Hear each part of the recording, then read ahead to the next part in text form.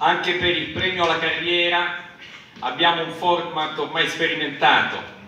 Eh, abbiamo selezionato insieme a Isabelle un po' di sequenze di film che lei ha interpretato. È talmente bella la sua carriera, talmente lunga, talmente importante che la scelta è veramente difficile. Ne abbiamo scelte soltanto sei che ovviamente non fanno onore a questa grandiosa carriera, ma credo che siano tutti film bellissimi.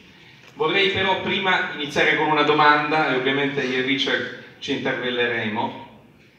Vorrei fare una domanda sul suo background teatrale.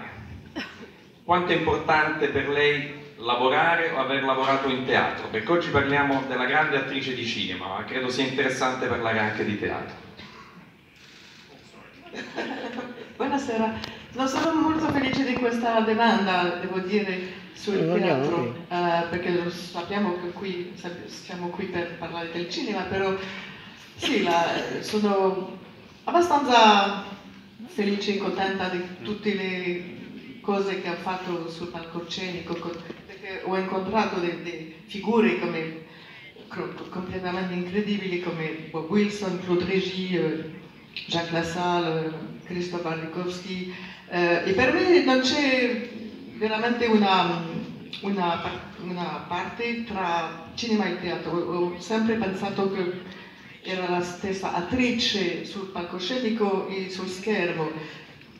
Io, io direi che in principe il cinema è più una confrontazione con sua, la sua, e in principe il teatro sarebbe una cosa così, meno una confrontazione con la sua, perché c'è um, spesso facciamo dei ruoli che sono molto più in la memoria collettiva, come classici. O, eh, bon, maintenant continua in francese.